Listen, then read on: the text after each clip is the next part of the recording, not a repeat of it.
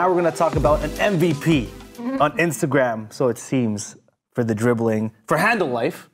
You know how about Handle Life? I know that. He's not on Instagram. Oh Yes. yeah, yeah, social media fast. but hey, Binky, Binky's can handle the ball. She's a what did I say? A dribbling dynamo. So let's get to know you. Talk about your upbringing with basketball, or when did basketball come into your life? Probably when I was around um, seven or eight years old. So my, my brother, he's a year older. He's always loved basketball, and whenever my dad would bring him to his little training sessions, I would kind of tag along. And then around the same time was when the Raptors started up, so mm-hmm. like 95, 96 season. And I was always told like you can't play because you're little. I was like not even four feet tall. So then after people would say like, you can't play, the Raptors drafted Damon Stoudamire, and then I started watching him. and I'm like he's 5'10, barely 5'10, and he's amazing. So I wanted to be just like him. I started playing after that, and then my dad put me in an all girls league, and he saw that I was pretty good at it. So he's like, why don't you just play with your brother so I don't have to drop both of you off and oh. you know it saves him some time. That's So- some Filipino That's mindset right Filipino. there. Yeah, so he stuck yeah. me with my brother for, with Yeah. the boys for like a few years, and then that's how I kind of got. I was forced to play like a guy, and that's all I learned growing up was how to play like a guy. So that's how I started wanting to dribble like my brother and shoot like my brother and play like my brother. And then I just started watching a lot of basketball, not just Raptors, but and everything else. So Penny Hardaway, Grant Hill, some of my favorite players, mm-hmm. and then I just became an even bigger Raptor fan when Vince Carter got drafted. Mm-hmm. Obsessed with Vince Carter, then Allen Iverson and all that stuff, and then from then on I just kept playing. That's a cool thing you mentioned. Vince Carter is a is a, is a He's the big Air staple. Canada. Yeah, he was the- It's a big influencer to like a lot of Canadian ballers because when Vince Carter came and when he made those like Put them on the map. he put, put- Toronto on the map. Absolutely. a lot of players, a lot of Canadian players are mentioning Vince Carter was the reason why Yeah. they are where they are. Like Wiggins, uh, a couple players like you know uh, Cory Joseph. A lot of people watch. yeah, like Vince a lot of even Kevin Durant said Vince Carter is his favorite player. yeah. Hoping he, he would come to the Raptors at the time. We thought so for a second. Let's talk about like okay, so you're let you, you're known to be a dribbler. Who is your favorite ball handler um, that you've like you said that you you follow that became a staple in your game? What uh, ball handler was your most favorite? Growing up, Allen Iverson. I copied everything he did from like the the elbow pad, headband. I had my hair braided had when I was hair like. Oh, yeah. you had the hair braided. The finger bands, they wouldn't let you wear it in the game, but I had them. Put like a wristband on my knee.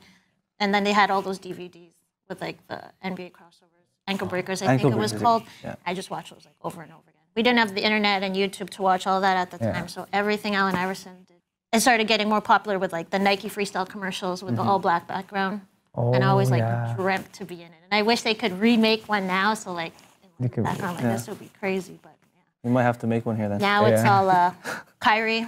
Kyrie. Everyone handles the ball well now. Kyrie, Damian Lillard. Um, If you had to like, I guess like Are you gonna put it in that situation? yeah, Who's if you had to choose between the like you know the point guards that they had back then, like Iverson, Stoudamire, who would you would you compare them to the era that we have now of like you know dribblers like Kyrie, John Wall, like you mentioned Curry? How would you compare them? Like it's crazier now. Like it's even even Iverson said it himself. Like the stuff Kyrie does and these point guards are doing now is just like it's stuff he wouldn't have ever like thought to do mm-hmm. now. Like the I mean there were like Shammgods before and all that stuff, but no one was doing it in a game. Now they're Yeah. doing it effectively. To, Yeah. to like with purpose, but they're not doing it just to be flashy anymore. Before it was just like a move they did in like AND1 mixtapes, but now they're actually doing it. Like you saw Westbrook do it, and then he swung it past to oh, Steven that was Adams nice. Yeah. like he had to do it. Like there's no other way to do it but to yank it back, right? So it's I think now it's a lot better, but Yeah. it's still good before, right? You talked about efficiency. You talked about that. Kind of hinted to. Do you? How often do you dribble, or how often did you used to? Did you used to work on your handles? Do you teach kids handles? What? Talk, talk about that part of your life. Growing up I dribble every day. Yeah. Um growing up we didn't have a basketball net probably until I started. We had the basement. The basement was small and we had car- a carpeted basement. So that taught me to like really Go harder. Yeah. ball as hard as I can. And then my brother and I would just set up different pieces of furniture, stools and chairs, piano benches, and just dribble around them. And then I'd play in like my Fil-Can games when I was like 10 years old. So, right, like maybe half an hour before we left for our games, I would practice every crossover on that piano bench. Wow. yeah, everything. And then and then we'd leave, and I'd be good to go. And then growing up, I just kept handling when I got to be able to be in the gym, and then I'd use like partner dribbling with like my teammates and stuff. And now, since I'm not really playing anymore, I kind of try to teach that to the younger kids. Mm-hmm. So I, I train a lot of kids around the age. Do you tell them to bring a piano bench to their their house? No, now they they're they kids are have a spoiled now. They have yeah. everything. There's a lot of equipment A lot of nowadays. equipment, yeah. They got everything. They got, like there's that D man, that defensive man that kind of just stands up and kids could dribble around him like. And that, that was probably the the most oldest innovation of you know what they have now. They have the non-slip hands. hands. Yeah, the hands. I have those you had the carpet.